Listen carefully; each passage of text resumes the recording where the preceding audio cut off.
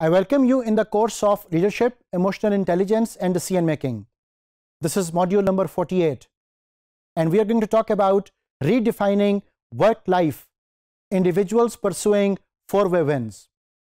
जब हम work life balance की बात करते हैं तो वर्क लाइफ बैलेंस में अक्सर हमारे लिए बैलेंस को क्रिएट करना वो डिफिकल्ट हो जाता है and the solution we are going to find is actually the context of total leadership now how is it related and how it is happening let's explore it when we talk about work life balance so we are trying to create a balance between the work the family the friends the self and then again the work which is sometimes very difficult for us to actually manage because हमारे लिए priorities वो तयशुदा नहीं होती because हमारे लिए focus वो maintain नहीं रह पाता सो so, हम अक्सर ऐसे ट्रेड ऑफ्स में चले जाते हैं the trade offs which are not actually giving us the right balance therefore when we talk about total leadership versus work life balance तो we have to bear in mind that total leadership is not work life balance इसमें हम एक फ़र्क को अभी discuss कर पाएँगे। And second thing we need to understand that equality is not possible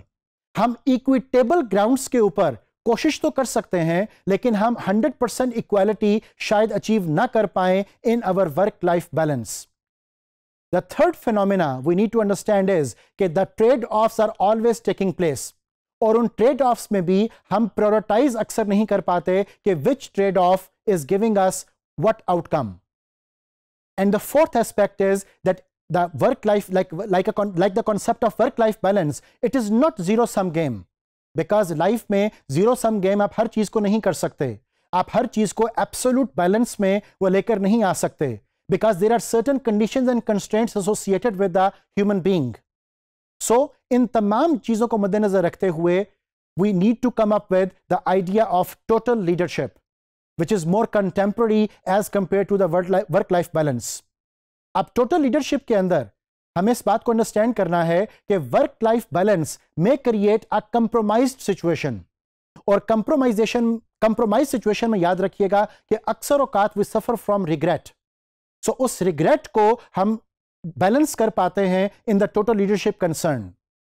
second thing is that work life balance programs are standardised ये proceduralised factors इसमें डिफाइन किए जाते हैं. ऑर्गेनाइजेशन के पॉलिसी के अंदर ये डिफाइंड पैरामीटर्स के तौर पर इस्टेब्लिश किया जाता है. और उसको तमाम एम्प्लॉयज़ के लिए यकसा इंप्लीमेंट किया जाता है जबकि तमाम एम्प्लॉयज़ का जो नीड लेवल है वो एक जैसा नहीं है तमाम एम्प्लॉयज़ की जो पर्सनैलिटी है वो एक जैसी नहीं है therefore work life balance के जो कॉन्सेप्ट हैं वो कुछ मध्यम हो जाते हैं जब हम स्टैंडर्डाइज प्रोसीजर्स की बात वो करेंगे Likewise, work-life balance programs are driven top-down. Whatever the top people are thinking, the, the lower staff needs to follow it. जबकि इसमें फीडबैक लूप्स हमारे पास अवेलेबल वो नहीं होते। हम बॉटम अप को सोच नहीं पाते। The solution we are available with that the total leadership is more flexible and more customisable इसमें हर शख्स की इंडिविजुअल ज़रूरत के मुताबिक, हर शख्स की इंडिविजुअल पर्सनैलिटी को जांचते हुए हम चीज़ों को बेहतर तौर स्टैब्लिश वो कर पाते हैं। So my dear students if we conclude the whole discussion no doubt the work life balance has its own charm but it would be difficult for us to actually create that value हमारे लिए priorities और trade offs उनको set करना difficult होगा। There इस total leadership practice से गुजरकर हम कोशिश कर पाएँगे कि हम बेहतर तौर अपने आप को एज अ लीडर वो डेमोन्स्ट्रेट कर सकें। Thank you